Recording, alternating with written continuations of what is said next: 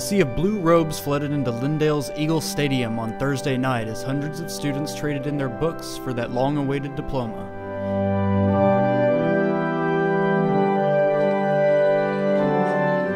Each student said their goodbyes to their peers and teachers and hello to a slew of new opportunities, whether it be moving on to college or joining the military. World of opportunity awaiting the departing scholars, each of them welcomes the new challenges that life will throw at them.